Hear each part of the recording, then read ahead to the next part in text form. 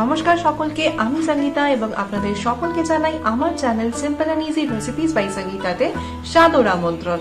আজ নিয়ে এসেছি রুই মাছের একটা অসাধারণ স্বাদের রেসিপি রুই পোস্ত।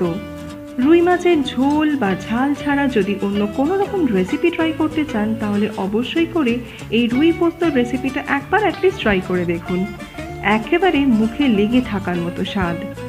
ভাত, পোলাও ফ্রাইড রাইস দিয়ে কিন্তু দারুণ লাগে। আর এটা খুব অল্প সময় তৈরি হয়ে যায় আর যে কোনো অনুষ্ঠান বাড়ির মাছের প্রিপারেশনের সাথে কিন্তু এটা ইজিলি টক্কর দিতে পারে। তাহলে চলুন এই খুব ইজি আর সিম্পল রেসিপিটা বানাতে আমাদের কি কি লাগছে একবার এই ইনগ্রিডিয়েন্ট লিস্ট থেকে চেক করে নিন। আমি এখানে চার পিস রুই মাছের পিস নিয়ে নিয়েছি। মাছগুলোকে খুব ভালো করে ধুয়ে নিয়ে জল ঝরিয়ে একটা থালার মধ্যে নিয়ে নিয়েছি। এবার এর মধ্যে আমি দিয়ে দিয়েছি স্বাদ বুঝে নুন। হাফ চায়ের চামচ হলুদের গুঁড়ো আর দিয়েছি ওয়ান ফোর্থ চামচ একটু লাল লঙ্কার গুঁড়ো। এবার মাছগুলোর গায়ে ভালো করে নুন, হলুদ, লঙ্কার গুঁড়ো মাখিয়ে নিয়েছি। এবার এই মাছগুলোকে একটু পাঁচ থেকে সাত মিনিটের জন্য ম্যারিনেট করে একটু সাইডে রেখে দিয়েছি, যাতে মাছের মধ্যে ভালো করে নুনটা ঢুকতে পারে। এই সময় আমি পোস্তর মশলাটাকে বানিয়ে নেব। আমি একটা মিক্সার জারের মধ্যে তিন টেবিল চামচ পোস্ত নিয়ে নিয়েছি। এইবার এই পোস্তটাকে আগে শুকনো একটু মিক্সির জারের মধ্যে ঘুরিয়ে নিয়েছি। দেখুন, এটা এখন একটু গুঁড়ো হয়ে গেছে। এবার এর মধ্যে আমি অল্প সামান্য জল আর দুটো কাঁচা লঙ্কা দিয়ে আবারও বেটে একটা ফাইন পেস্ট থকথকে মতো বানিয়ে নিয়েছি। আমাদের পোস্ত বাটাও এখন একদম রেডি এছাড়া লাগছে একটা মিডিয়াম সাইজের পেঁয়াজ। পেঁয়াজটাকে দেখুন, এরকম সরু সরু লম্বা লম্বা করে ঝিরি ঝিরি করে ফাইন করে কেটে নিয়েছি। আর এর সাথে নিয়েছি একটা মিডিয়াম সাইজের টমেটো টমেটোটাকেও দেখুন একদম ছোট ছোট টুকরো করে কেটে নিয়েছি। আর লাগছে আমাদের চারটে কাঁচা লঙ্কা। এবার মাছগুলো ভাজার জন্য আমি গ্যাসের চুলার মধ্যে কড়াই গরম করতে বসিয়ে দিয়েছি এবং কড়া গরম হলে এর মধ্যে দিয়ে দিয়েছি আমি তিন টেবিল চামচ সর্ষের তেল। এই রান্নাটাই কিন্তু অবশ্যই করে সর্ষের তেল দিয়েই করতে হবে। তেলটা খুব ভালো মতো গরম হলে এবার আমি এর মধ্যে একে একে নুন, হলুদ মাখানো রুই মাছের পিসগুলোকে ভাজার জন্য দিয়ে দিয়েছি।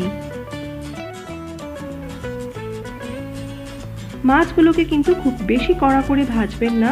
হালকা লালচে করে দু পিঠই একটু ভাজতে হবে।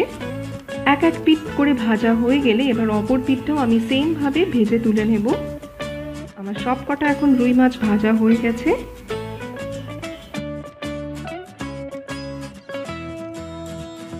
অবশিষ্ট তেলের মধ্যে প্রথমে ফোড়ন দিয়ে দিচ্ছি আমি হাফ চায়ের চামচ কালো জিরে আর দুটো চেরা কাঁচা লঙ্কা।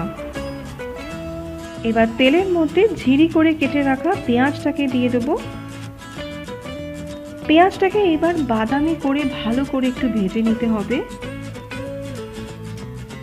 পেঁয়াজটা বাদামি করে ভাজা হয়ে আসলে এবার এর মধ্যে আমি দিয়ে দেবো টমেটো কুচি। টমেটোটা দিয়েও আমি গ্যাসের ফ্লেমটাকে হাইতে রেখে পেঁয়াজের সাথে খুব ভালো করে একটু কষিয়ে নেব। টমেটোটা দিয়ে আমি স্বাদ মতো নুন দিয়ে দিলাম, যাতে টমেটোটা তাড়াতাড়ি সিদ্ধ হয়ে নরম হয়ে যায়। আর এছাড়া কিন্তু এই রান্নাতে আর কোনো রকম মশলা ইউজ করব না না হলুদ গুঁড়ো, না জিরে গুঁড়ো, না ধনে গুঁড়ো। এই রান্নাটা এরকমই সিম্পলই থাকবে। দেখুন, কষতে কষতে টমেটোটাও এখন নরম হয়ে গেছে। এবার আমি এর মধ্যে বেটে রাখা পোস্তটাকে দিয়ে দেবো। পোস্তটাকেও পেঁয়াজ, টমেটোর সাথে খুব ভালো করে তিন থেকে চার মিনিট ভালো করে একটু কষিয়ে নেব। প্রয়োজন বুঝে অল্প অল্প করে জল দিয়ে দিয়ে মশলাটাকে খুব ভালো করে কষিয়ে নিয়েছি। পোস্তটা এখন খুব ভালো করে কষে গিয়েছে এবং দেখুন সাইড থেকে সম্পূর্ণ তেলও ছেড়ে দিয়েছে। এবার এর মধ্যে সামান্য হাফ চামচ একটু চিনি দিয়ে দেবো। চিনিটা রান্নাটাকে ব্যালেন্স করে দেবে, আর এমনিতেও পোস্ত রান্না কিন্তু খুব বেশি ঝাল হয় না। চিনিটা দিয়ে আমি ভালো করে মিশিয়ে নিয়েছি, এবার এর মধ্যে আমি দিয়ে দিয়েছি জল। আমি মিক্সির বাটিটাকে ধুয়ে গায়ে লেগে থাকা সমস্ত পোস্তটাকে জলের সাথে মিশিয়ে আমি মাছের গ্রেভিটার মধ্যে দিয়ে দিয়েছি। এবার এই গ্রেভিটাকে জলটাকে ভালো করে একটু ফুটতে দিতে হবে। জলের পরিমাণ কিন্তু খুব বেশি দেবেন না, আমি এখানে এক গ্লাস মতো জল দিয়েছি। কারণ এই রান্নাটা কিন্তু একটু মাখামাখাই হয়। ঝোল ঝোল কিন্তু একদমই হয় না। গ্রেভিটা দেখুন ফুটে গেলে একে একে আমি ভাজা মাছগুলোকে এর মধ্যে দিয়ে দিয়েছি। উপর থেকে আমি আরও দুটো গোটা কাঁচা লঙ্কা দিয়ে দিলাম। ভালো করে মিশিয়ে নিয়েছি এবার আর গ্রেভিটাকে ভালো করে একটু ফুটতে দিয়েছি। গ্রেভিটা দু মিনিট একটু হাই ফ্লেমে ভালো করে একটু টকবক করে ফুটে গেছে। এবার আমি গ্যাসের আঁচটাকে কমিয়ে দিয়েছি এবং কড়াইয়ের ঢাকাটাকে চাপা দিয়ে আরও চার থেকে পাঁচ মিনিট এটাকে একটু কম আঁচে হতে দিয়েছি, যাতে মাছগুলো সুন্দর নরম হয়ে যায়। প্রায় পাঁচ মিনিট পর ফিরে এলাম। দেখুন, রুই পোস্তর গায়ে এখন একটু হালকা জল জল গ্রেভি আছে। এটাকে আমি এই অবস্থাতেই এবার গ্যাসটাকে অফ করে দেব। কারণ রুই পোস্ত ঠান্ডা হলে কিন্তু সমস্ত গ্রেভি টেনে যাবে। আর রুই পোস্ত কিন্তু একদম গায়ে মাখা মাখাই খেতে বেশি ভালো লাগে।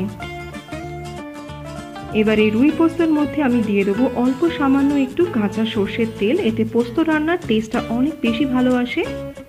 আর একদম শেষে আমি দিয়ে দিচ্ছি অল্প একটু ফ্রেশ কোচানো ধনে পাতা। ভালো করে মিশিয়ে নিলেই আমাদের রুই পোস্ত কিন্তু একদম রেডি হয়ে যাবে।